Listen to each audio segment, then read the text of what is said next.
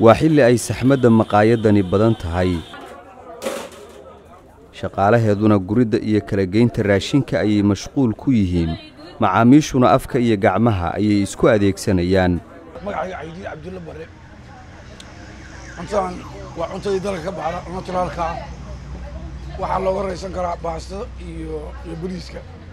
Waxaa kaloo looga sii raysan karaa waxaa lagu sheegay maraq digaagga in lagu daro baastada iyo bariiska iyo waxyaalo noocaasa. Haddii marka baasta la cuno ayadoo baastadii awalba dadku ay macnaha tayadeedu aysan fiicnayn sidoo kale bariiska tayihiisa uusan fiicnayn waa ifafaalo muujinaya in soomaalidu gaar ahaan reer muqdisho ay soo fahmayaan muhiimadda midhaha ku yaalla geedaha ay beertaan. Cuntooyinka maqaaxyadeeda lagu kariyo waa guud ahaan horta waa dalga waddanka ka soo go'o. Saynab waddani waa haweenayda iskale meheraddan lagu iibinayo cuntooyinka dalka.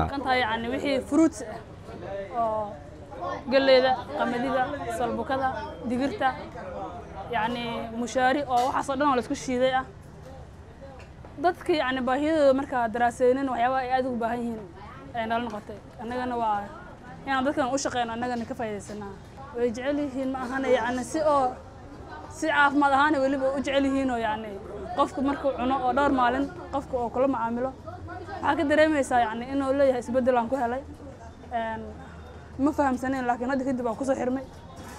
Annaguna dhiirigelin noo tahay waa u shaqeynaa. Inkastoo dadka soomaaliyeed ay badankood aaminsan yihiin raashinka dibadda laga soo dhoofiyo ayaa haddana waxaa jira dad weli ay ku dambayso aaminaadda cuntooyinka dalkooda. Waa xilli habeen ah maqaayadanina cunto bisil oo laga sameeyey dalagyo si dabiici ah dalka uga soo go'ay ayaa lagu kala iibsanayaa magacayga waa cabdimaad faarax warsame waxaan ahay nin dhallinyar u jeedid. Runaantii waxaa halkan u imaaday aan u soo doontay cuntada dalka waa wax kale ma aha. Horta inta badan dhallinyarta maanta waxay ay jecel yihiin mase ay mataqaana xiisteeyaan cuntooyinka dibadda. Balse ani ahaan marka laga hadlo waxaan jeclaa cuntada dalka sida hadda arkaysa digirta aan isticmaalaya oo kaleento. Marka runaantii waxaan dhihi lahaa cuntada dalka. Waa taan dadka dadka naga weynaay ama dadka naga horreey ka soo gaarnay. Halkan waxaa lagu iibiyaa noocyo kala duwan oo ah cuntooyinka dalka ka soo go'a. Inta badan magaalada muqdisho goob walba waxaa lagu iibinayaa raashinkan oo karsan. Arrinta la yaab kale ee suuqa aan ku arkay waxaa weeye cuntooyinka laga keena dalka oo soo mara masaafo kala duwan islamarkaana qarash kala duwan uu ku baxo in ay ka qaalisan yihiin cuntooyinkan dalka. Dadka iibiya waxay leeyihiin arrintaasi waxaa ugu wacan in beeraha iyo gobollada cuntooyinkan ay ka soo go'aan hadda roobab badan ay ka da'een webiyadiina ay fataheen. Sidaasina jidadkii ay u xirmeen. Sidoo kale waxaa jirta in waddadan isku xirta gobolka shabeellaha hoose iyo magaalada muqdisho hadda ay ka socoto dhismo. Arrintaasuna sababaha ay ka mid tahay. Bismillaah magacayga waa qaaliuus xasan raashinka agadeena waa dalagii ka soo go'ay dalkeena. Digir guduudan salbukada sida xoogayto masagada galleyda qamadiga soor shiidan oo kale. Waxyaaba badan baan haynaa. Dadka horta hore waxay jecel yihiin hadda siday u fahmeen oo ilbaxeen dalageena oo hadda sidii hore looguma badno wixii dalka dibaddiisa ka imaan jiray. Hadda keenaa qaalisan dadku wayba ilbaxeen way fahmeen dalageena inuu ku jiro khayraad badan.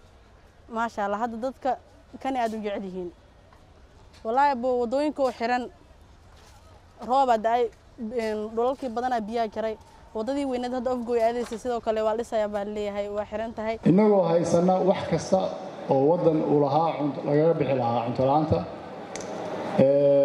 laakiin cuntadu dhaqankeena soomaalida dhaqankeeda cuntadu waa la yasaa wasiirka beeraha iyo waraabka xukuumadda soomaaliya siciid xuseen ciid oo ka hadlaya arrimo ku saabsan wax soo saarka beeraha iyo sida ay dadka soomaaliyeed ugu yartahay isticmaalka khayraadkooda ayaa yidhi.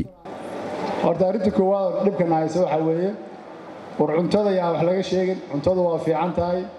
Maamaayihii la odhan jiray nin soore kaa qaaday waa nin seefe kaa qaaday iyo soor laguma hadla iyo soor waa lagu hadlayaa adduunka waxa ugu muhiimsan waa cuntada weeye.